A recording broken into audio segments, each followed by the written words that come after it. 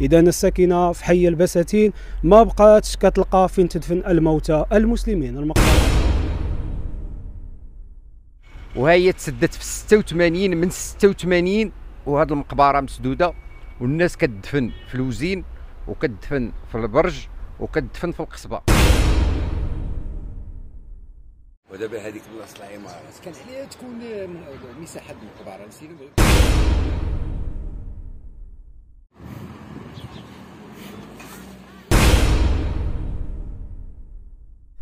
السلام عليكم متابعينا الأعزاء. متابعين صوت العدل أهلا وسهلا بكم من مدينة مكناس. أحييكم وبالضبط من حي البساتين أو بما يعرف بعين سلوقي. اذا الساكنة في حي البساتين ما بقاتش كتلقى فين تدفن الموتى المسلمين. المقبرة عمرات. هذه لمدة سنوات هما كيطالبوا بمقبرة ولكن لا حياة لمن تنادي. ومعنا ومعكم الأخ الفاعل الجمعوي سمير. سمير أهلا وسهلا بك معنا على صوت العدالة مرة أخرى. السلام عليكم الأخ ربيع. اولا وقبل كل شيء آه، اللهم ارحم جميع موتى المسلمين والمسلمات منهم الأحياء ومنهم الأموات. اللهم ارحمهم. وكنتقدموا لك الأخ ربيع صوت العدالة على هذا النضال ديالك وعلى هذه الغيرة ديالك على هذا الوطن.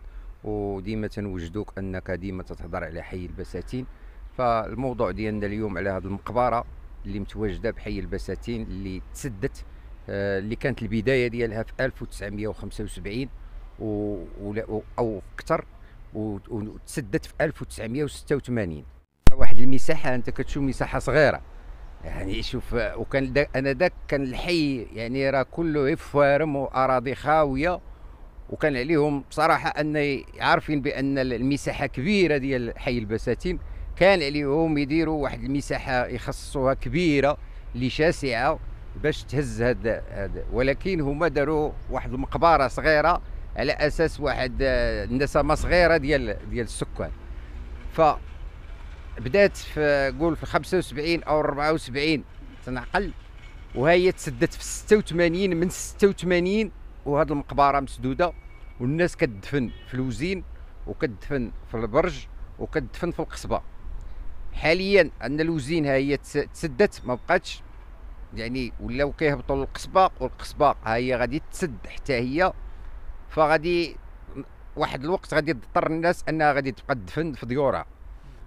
بالنسبة لهذا الموضوع ديال المقبرة عيينا من نهضروا عليه. وهضروا عليه عدة إخوة وهضروا عليه عدة سكان واحتجوا ما خلاو ما داروا ما خلينا ولا من يجيب. ما كاينش اللي كيتجاوب معك في هذا الموضوع. إلا كيتجاوب معك في الأوراق سوى كلام فارغ ديال التهيئة ديال المقبرة. التهيئة وهي ما كايناش ربما حتى في التهيئة ما كايناش مقبرة. على حسب معلومات اللي كتروج واللي استشرت مع الناس أن قالوا لي حتى هذه المقبرة في التهيئة ما كايناش ديال حي البساتين.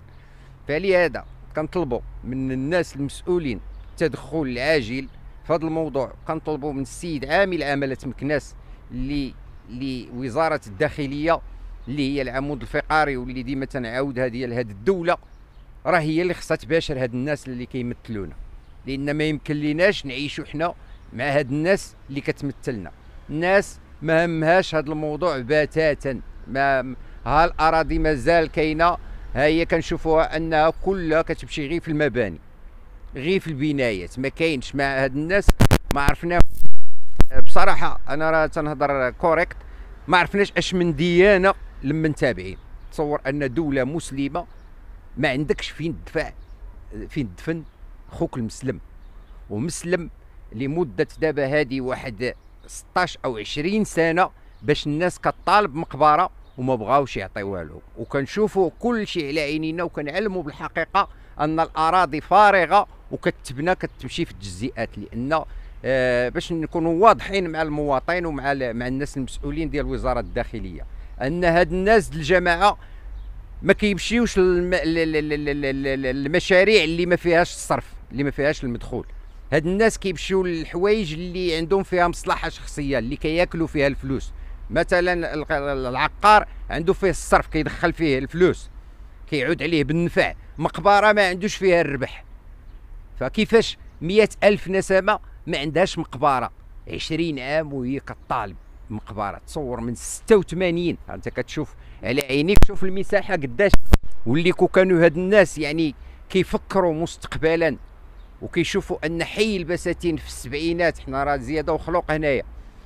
أنا راه ولد السبعين. باللي باللي كانت الأراضي هنايا غير فوارم والمساحة شاسعة كبيرة وعارفين بأنهم كون كانت عندهم واحد الدراسة مستقبلية. غادي يقول بأن هذا الحي غادي يكون عنده بزاف ديال الساكنة. الور خصنا واحد على الأقل واحد ثلاثة د الهكتار أو أربعة د الهكتار خصها تخصص. كنمشيو على حساب لو لو لو المساحة ديال شحال تكون النسمات السكان. نعم إذا سي سمير آخر رسالة تبغي توجهها للجهات آخر رسالة أنا تنوصل رسالتي لوزارة الداخلية لا غير. باش نكونوا واضحين لأن الجماعة مكناس لا يهمها الأمر. راه لا يهمها راه عيينا وعيينا من هضروا وعيينا من تشكى وعيينا وعيات الساكنه ما تحتج عيات فلهذا دابا حاليا خص التدخل ديال السيد عامل عملة مكناس.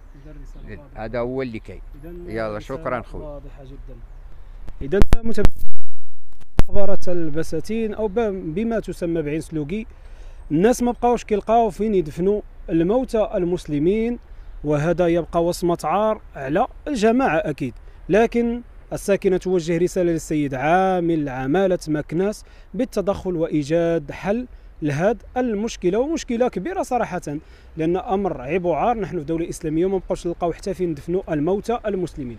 إذا كما كتشوفوا المقبرة المساحة ديالها صغيرة وكيف ما قال الأخ فعلا كانت واحد الوقت هنا الأراضي فارغة.